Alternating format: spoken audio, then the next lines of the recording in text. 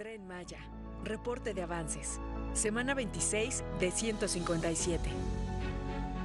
En el tramo 1, avanzamos en la formación de terraplén, el rescate de flora y fauna y la construcción de pasos de fauna. En el tramo 2, continuamos con las actividades de despalme, desmontaje de vía y la fabricación de durmientes, que ya asciende a 193.035. En el tramo 3, proseguimos en la obra de drenaje transversal, la construcción de planta de concreto y actividades de excavación. En el tramo 4, realizamos actividades de despalme y desmonte, demolición de carpeta y trabajos de conformación de terracerías. Elaboración de materiales prefabricados. Es un proceso que ayuda a acelerar los tiempos de construcción. Consta de cinco fases. 1. Habilitación de acero. Se habilitan las varillas de acero según la disposición y cuantía que señala el proyecto. 2. Habilitación de cimbra.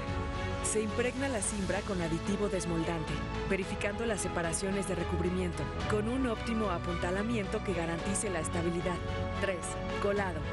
Se procede a colar la cimbra con el concreto previamente diseñado acorde a su resistencia. 4. Desimbrado y almacenamiento. Luego de 48 horas, se procede al desimbrado de los elementos y se disponen en el patio de almacenamiento hasta el momento de su traslado. 5. Transporte y colocación.